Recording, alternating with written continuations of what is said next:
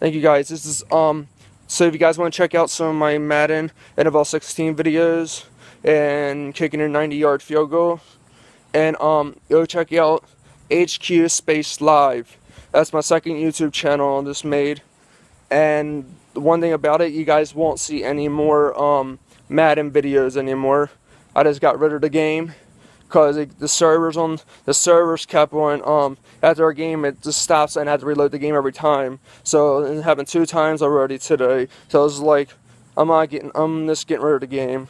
So I don't have the game no more. So you won't be seeing me make any more of them Madden NFL 16 videos.